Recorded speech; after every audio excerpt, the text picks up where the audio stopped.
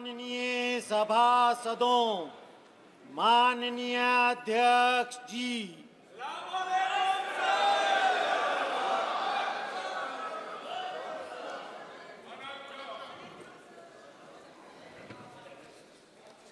मान्य सदस्यगण,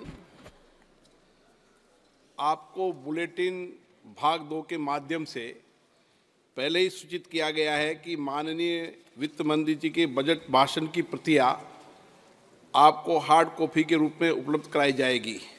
अतः बजट प्रस्तुत हो जाने के पश्चात माननीय सदस्य बजट भाषण की प्रति प्रकाशन काउंटर से प्राप्त कर सकते हैं। आपको ये भी सूचित किया जाता है कि माननीय मंत्री द्वारा बजट प्रस्तुत किए जाने के पश्चात उसे मेंबर पोर्टल पर भी उपलब्ध करा दिया जाएगा। माननीय वित्त मंत्री जी